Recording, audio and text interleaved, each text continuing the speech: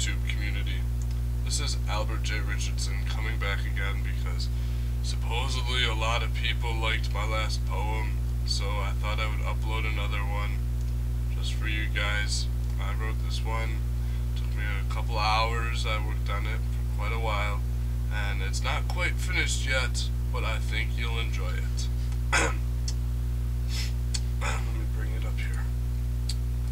Light becomes dark as the willow tree fades. No one seems to notice, but the signs are pointing northward. Open your heart. Let the blood be set free. As the willow tree dies, so shall the earth. Thank you, and if you like that, please subscribe to my videos